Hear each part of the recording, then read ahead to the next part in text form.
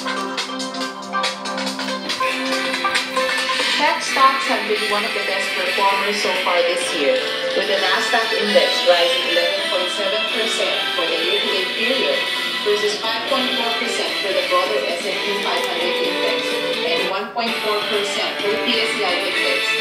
Although tech stocks could continue rising in the short term due to expectations that the Fed will pivot soon, there are also compelling reasons why tech stocks recovery might be sustained for the rest of the year.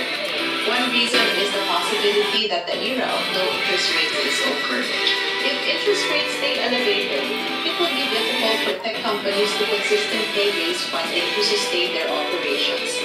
This as high interest rates are expected to make investors less willing to buy shares in tech companies that grow very fast, but take a very long time to become profitable and pay cash dividends.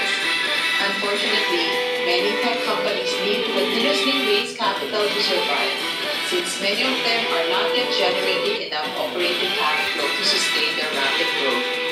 The inability to raise capital will force many tech companies to run out of cash to close shop, despite the rapid growth of their business and their promising long-term outlook.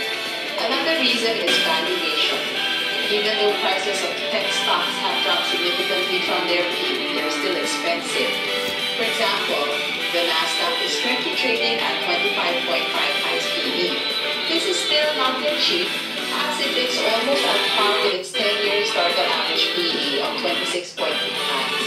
In fact, 25.5 times is still very high given the significant risk that profits of tech companies will decline this year because of high interest rates and slower economic growth.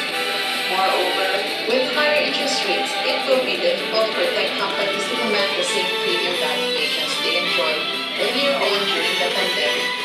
Because of the possibility that tech companies' strong performance might not be sustained, investors should exercise caution when buying tech stocks. You can manage your risk by buying only small amounts, locking in gains as they materialize, and making sure to cut your losses if your sell stops are. Before